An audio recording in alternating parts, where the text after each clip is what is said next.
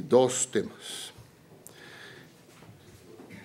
relacionados ambos con la lucha contra el crimen organizado y especialmente contra el narcotráfico. Recordemos que eh, la meta de erradicación forzosa ya fue alcanzada hace dos semanas. Pasamos la línea de las 52 mil hectáreas ayer. Luego esperamos cerrar el año 2017 con alrededor de 53 mil, 54 mil hectáreas de erradicación forzosa. La, el porcentaje de resiembra sigue existiendo, más alto en el sur que en el norte, eh, y esperamos que con este exceso de la meta podamos compensar eh, de manera importante esa resiembra para poder estar muy cerca en el neto de los 50 mil hectáreas.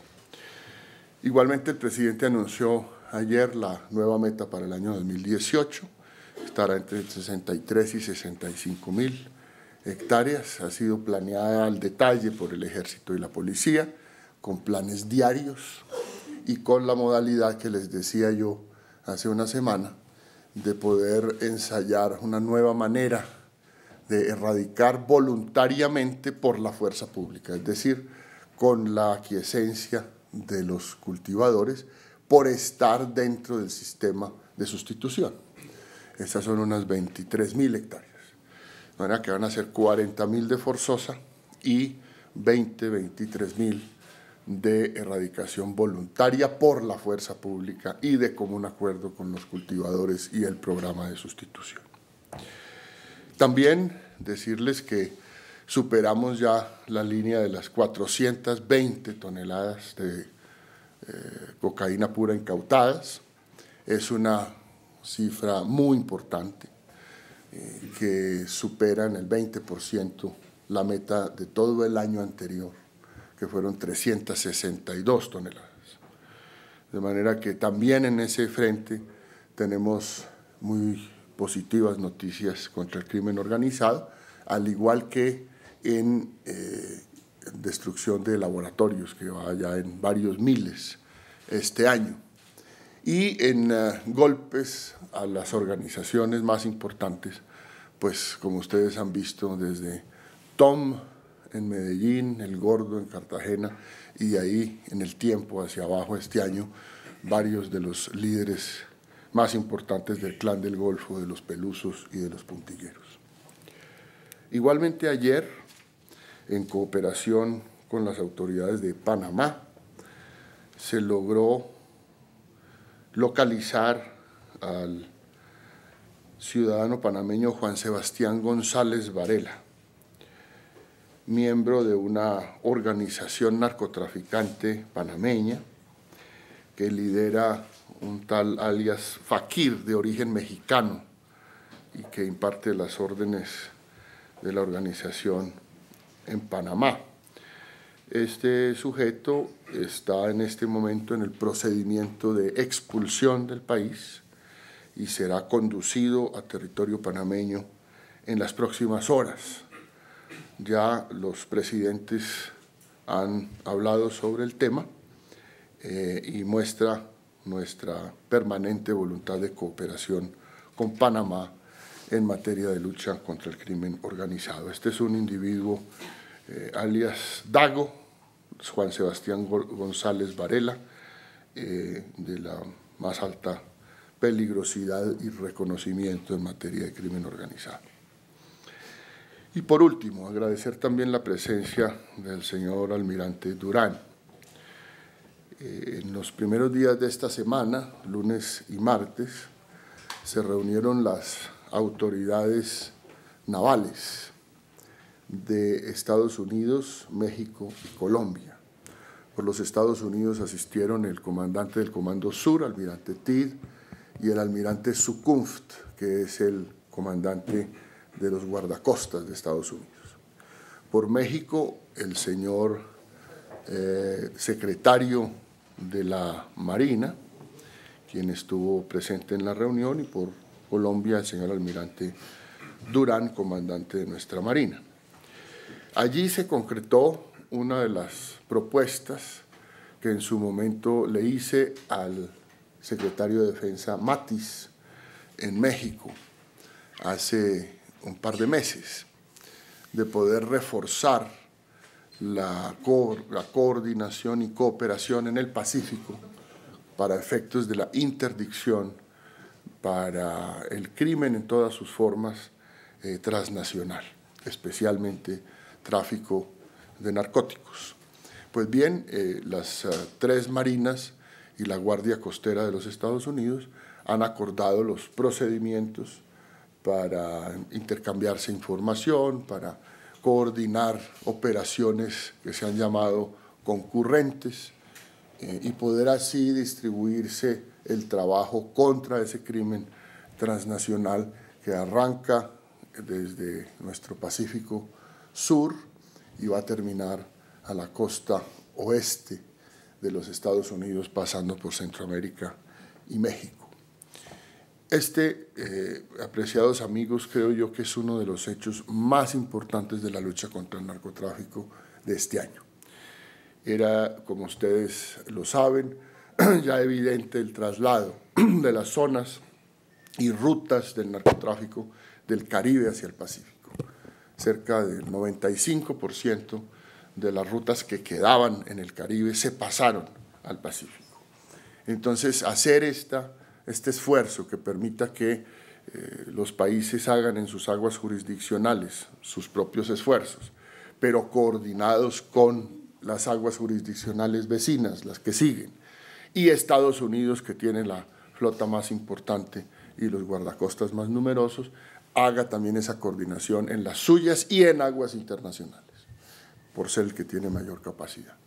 De manera que esta es una mala noticia para el negocio del narcotráfico y una buena noticia para los gobiernos y los habitantes de los países donde el narcotráfico ha presentado tantas dificultades y tantas amenazas a nuestra tranquilidad. Yo quiero darle al eh, general Nieto la palabra para detalles sobre el tema de este caballero de Panamá, y al señor almirante Durán para los acuerdos con México y Estados Unidos. Siga. Gracias, señor ministro. Efectivamente, en, en la tarde de ayer en Copacabana, en, en Antioquia, fue ubicado para expulsar del país a uno de los principales cabecillas, uno de los más buscados en Panamá, eh, que hacía parte de una organización delictiva ligada al narcotráfico de la principal importancia en Panamá. Era un objetivo de alto valor en Panamá y precisamente por esa coordinación internacional que se tiene con las diferentes agencias policiales de Panamá y Colombia, se logra en el día de ayer esa ubicación y en este momento se encuentra aquí ya en Bogotá haciendo todos los procedimientos para ser trasladado a Panamá. Tiene cartel de los más buscados en Panamá eh, y precisamente dada esa importancia, el señor presidente Varela llamó ayer al señor presidente Santos eh, felicitando esa actividad desarrollada de manera conjunta entre las dos policías que permitieron esa, esa ubicación para expulsión del país eh, en el día de hoy.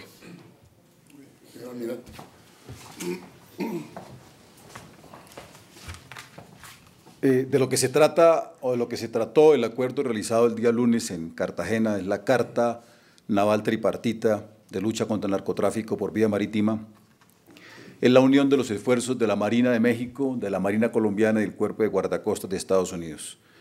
Siempre se ha hecho, pero ahora se va a hacer de manera fortalecida, coordinada, con mayor flujo de información, de inteligencia, con canales abiertos permanentemente, con hombres mexicanos y de Estados Unidos trabajando con nosotros en tiempo real, colombianos y mexicanos en buques de Estados Unidos, igual para colombianos y Estados Unidos en buques mexicanos.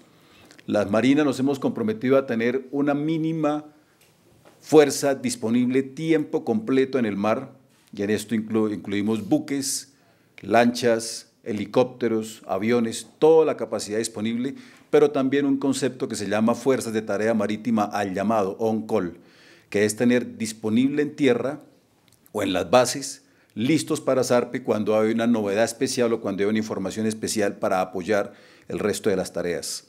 Es un acuerdo de voluntad, es un acuerdo de una decisión tomada que se conjuga en la parte marítima con el resto de la lucha contra el narcotráfico que se hace en tierra, con la sustitución, con la erradicación y con los esfuerzos que se hace con la Fiscalía para finalmente la aprehensión, para poner bajo la justicia a la red de criminales. No se trata solamente de la, eh, de la captura. En el caso del presente año, la Marina lleva solamente eh, más de, estamos llegando a los 700 capturados por temas de narcotráfico, la mayoría, por supuesto, colombianos, en aguas colombianas, pero muchos también mexicanos, guatemaltecos, ecuatorianos. Pero de lo que se trata es de sumar todo el esfuerzo para subir el nivel de el impacto y llegar directamente a las redes y a las estructuras y a los capos del narcotráfico. Es un acuerdo que se sigue materializando, que se realizan los protocolos eh, formales por vía marítima y que va a tener una participación permanente en esta lucha contra el narcotráfico. Vamos a entregarles el boletín correspondiente sobre cada uno de estos hechos, pero yo quiero sobre este último, eh, a través de ustedes, agradecerles a los gobiernos de Estados Unidos y de México porque han ejercido con mucho entusiasmo en esta reunión el principio de corresponsabilidad. Nosotros en Colombia necesitamos de esa cooperación internacional para poder lograr el objetivo que se propone la política doméstica y esta clase de política internacional también, que es dejar de ser el primer abastecedor de cocaína en el mundo. Muchas gracias a todos.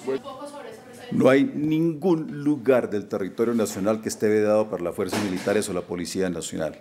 Particularmente lo que ocurrió en Chocó es una operación que hace ya varios meses está trabajando de manera conjunta con el ejército eh, a bordo de nuestros buques, de nuestras lanchas que tenemos en el río.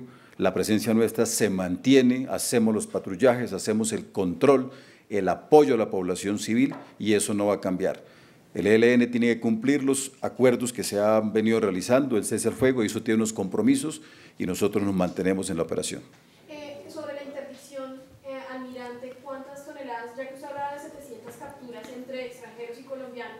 ¿Cuál es esa cantidad precisamente para relacionar las cifras? El señor ministro mencionó que llevamos a la fecha de hoy, en este año ya más del 20% de la totalidad del año 2016, que eso estamos alrededor de unas 400 toneladas de cocaína. Solamente la Marina está cerrando el día de hoy con 170 aproximadas eh, eh, toneladas de cocaína. En la madrugada de hoy tuvimos una operación también 82 millas al suroeste de Malpelo, Estamos en el proceso de conteo, por lo menos es media tonelada. En cualquier país del mundo incautar media tonelada sería una noticia gigantesca. Aquí nos hemos acostumbrado, pero en la vida real es que es muchísima la cantidad de cocaína que se incauta y el impacto a las mafias y la expectativa de ganancia es gigantesca. Solamente para tener una cifra, si ustedes recordarán hace unos 10 días una operación que fue divulgada en medios de 5.8 toneladas que se incautaron en un puerto español en Algeciras, con información de inteligencia colombiana de la Marina, el costo de esas 5.8 toneladas es del orden de los 325 millones de dólares. Si sumamos no solamente 5.5, sino las 400 del país, que incluye las 170 a fecha hoy de la Marina, es gigantesco el impacto que se hace contra las mafias y lo seguiremos haciendo. Muchas gracias.